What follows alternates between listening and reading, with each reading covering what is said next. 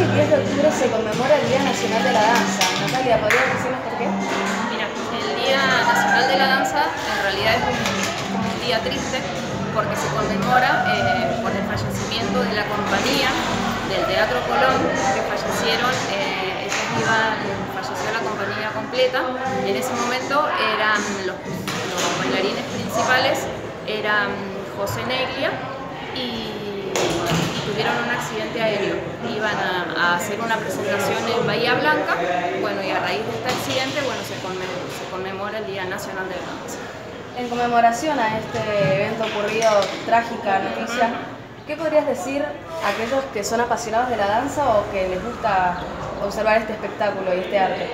Mira, eh, la danza es, eh, para mí es todo y el hecho de, de poder expresarte a través de la danza eh, es muy bello.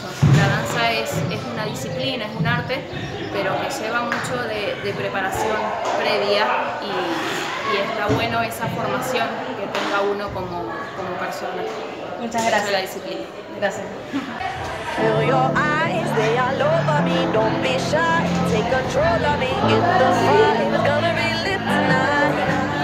Baby girl, you give me ten ton of fatness Give me some of that Thinks with the badness Look how she like a death But I'm just that It's a good piece of mental sand Under the cap A piece of game And me love how you chat. Watching every step of the paper The way you got.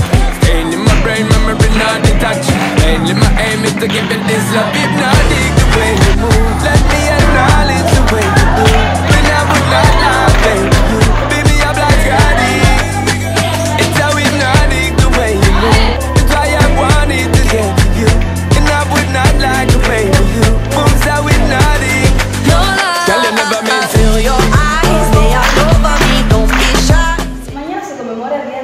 la danza.